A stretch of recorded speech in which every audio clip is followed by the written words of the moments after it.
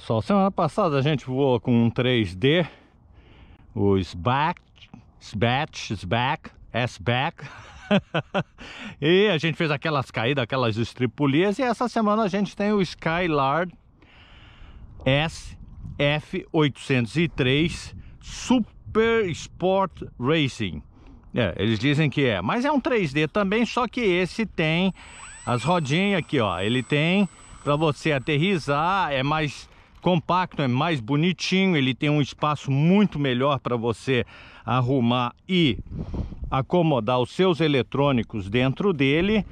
Espero que o sol não esteja atrapalhando muito. Uma bateria de 1300 mAh, os conectores, o transmissor, o receptor, desculpa. Ah, aqui, eu não sei se vocês conseguem ver, mas esse aqui já traz uma Electronic Speed Control de 40 amperes. O da semana passada foi um de 30 amperes a mesma potência teoricamente mas fritou e queimou tudo. Esse inclusive tem uma hélice um pouquinho diferente mas tem mais ângulo de ataque. Ou seja cada um tem um projeto e a gente vai tentar fazer uma brincadeira aqui só para não deixar passar esse final de semana em branco. Não sou esperto, não sou, como diz, um técnico em 3D, mas parece que funciona direito.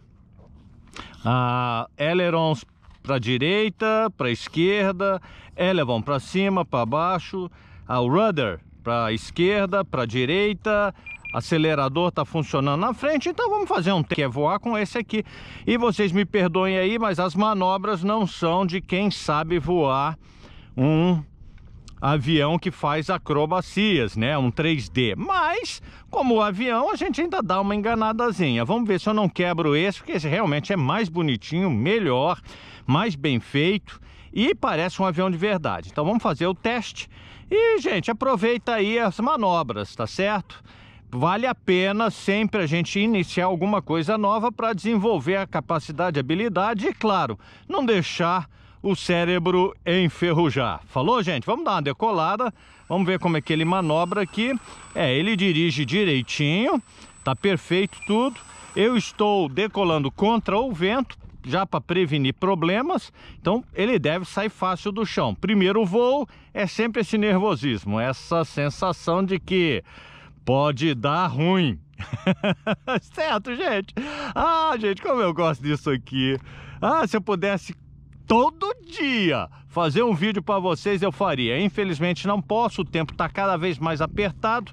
Então, gente, fica com vocês o Skylark SF803 Super Sport Racing. Uau, que nome complicado. Vamos lá?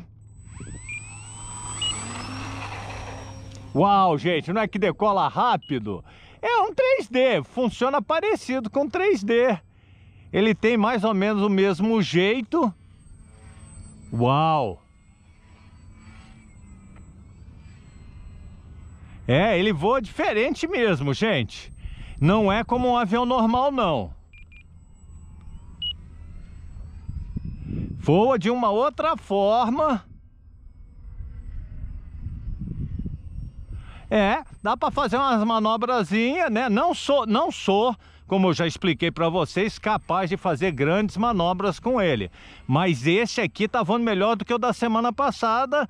Eu só preciso acertar um pouquinho o trim dele. Ele tá puxando um pouquinho para direita. É. É, gente, olha isso. Uau! Ih, aterrei no chão, gente. Ah, manobra errada. Vamos lá buscar ele. Espero que não tenha quebrado a hélice. Eu não tenho outra, gente. Ah, meu pai. Tristeza, né?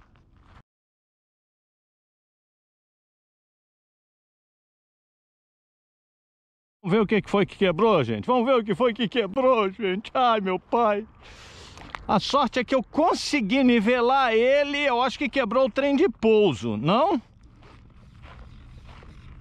Ih, gente. Nem a hélice. Oh, uau. Opa, a sombra dos homens aí. Gente, ele deu uma aterrissagem realmente forçada. Ah, ele bateu a hélice, a, a asa aqui no chão. Mas olha... Gente, eu tô impressionado, pessoal. Aguentou o impacto e aterrizou com força. Não aconteceu nada. A hélice, aqui ó, vocês podem ver, deu um pouquinho de vinco aqui na na hélice porque fez um estresse com ela, bateu com essa hélice aqui, com essa hélice não, perdão, com essa asa aqui no chão, estressou um pouquinho ela, ele pode agora ter mudado até o ângulo de voo de performance, mas tá tudo funcionando, vamos fazer outra decolagem. Vou tentar evitar de falar enquanto eu vou, gente. Eu tô meio nervoso, vocês desculpa aí. eu vou acabar estragando ele antes de eu aprender. E como eu gostei, vamos tentar evitar falar. Vou botar uma musiquinha aí no fundo, vocês dão uma olhada no voo. E vai ser isso aí. Valeu, gente. Obrigado aí pela atenção, obrigado por tudo que vocês têm feito aí em termos de dar o apoio. Muito obrigado pelo por serem companheiros aqui nessa aventura, nessa brincadeira que a gente tem feito por alguns anos. Acho que já fazem seis anos já que eu já estou brincando com isso e é, infelizmente os drones a gente está tentando renegociar com a Banggood, com a antiga Gearbest ou outras que tem aí, é, mas tá difícil, gente. O mercado tá triste, infelizmente muitos negócios estão afundando e eu espero que a gente não afunde junto. Eu quero é brincar. Valeu, gente, vamos voar.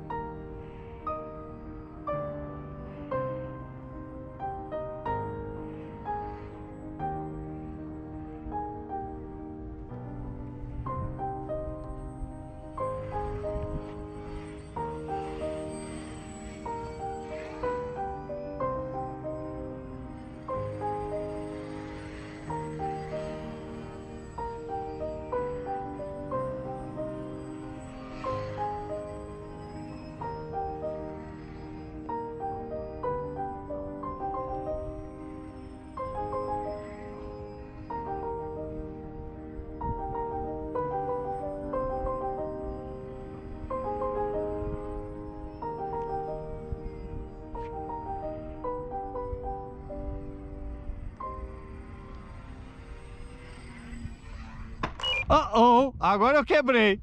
Ah! E agora eu acho que eu quebrei. A capota saiu. A hélice desconectou. Não, desconectou, não quebrou. É, desconectou, não tá ruim. Trem de pouso tá bem. Bateu o bico, quebrou a, a hélice. Uau! Vocês viram que pancada, gente?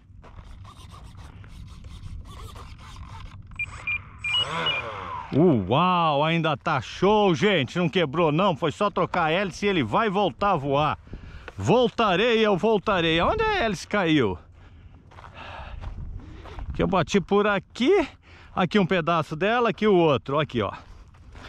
A hélice é essa aqui, é um pedaço dela e aqui o outro pedaço. Foi isso aí, gente. É o que quebrou dele. Deixa eu virar aqui para a luz. Foi o que quebrou dele, a hélice se espatifou. Era isso aí. Quebrei, quebrei, quebrei de novo.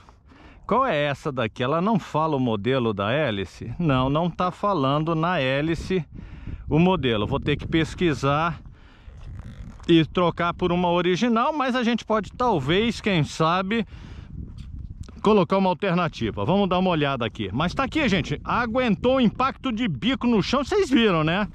Na pancada. Vamos ver se eu consigo botar para voar daqui a pouco de novo. Mais um voo sem tanta estripulia. Uau, gente. Botei, acabei de botar a hélice. Ah, o trem de pouso tá, tá vendo? Olha, tá assim para trás. Tá um pouquinho envergado, porque acho que bateu com muita força. Vou tentar decolar com ele assim mesmo. Botei outra hélice, ela parece um pouco menor do que a original. talvez ele já não tenha tanta potência. Só um voo e uma aterrissagem pra gente ver. Tá, parece, parece que tá certo. Só parece, né? A gente não sabe. Bateria ainda tem 70% da capacidade, ou seja, não gastou muito.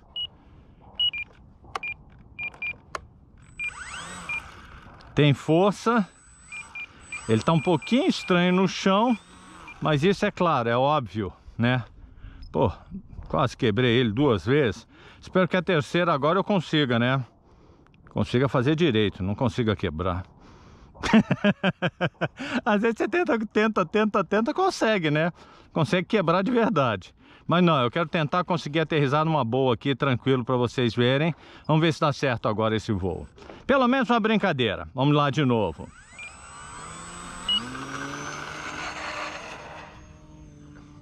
Essa hélice é mais fraca. Não dá para fazer tanta manobra. E ele decolou levantando assim para a esquerda estranho. É, tem que tomar cuidado com poste também, né, gente? Eu sou ótimo com poste. Já acertei todos que tem aqui. Bom, tá voando. Vou ter que acertar, recolar, de, de, ajustar ele um pouquinho, que ele tá estranho. Não tá voando perfeito, é claro, depois de duas quedas dessa, o que, que você quer? Milagre, né? Bom, eu quero. Ah, quem não quer o milagre? Até os números, aqueles números especiais da loteria eu também quero. Ah, mas é bonitinho.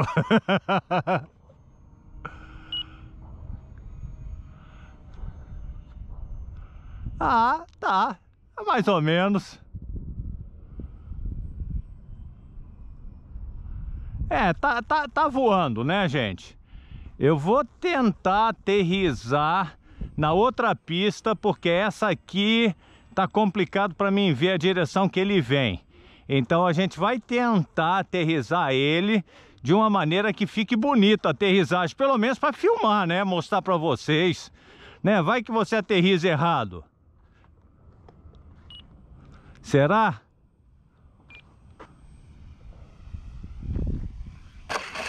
Olha aí, gente, olha nós aí. Não é que ele aterrizou, gente? Falou pessoal, Skylark S F803 Super Sport Racing, I can fly drone Brasil. Boa sorte, bons voos e uma melhor aterrissagem sempre. No crash, sem caídas, sem batidas, sem arrebentar o avião. Valeu gente, a gente se vê na próxima.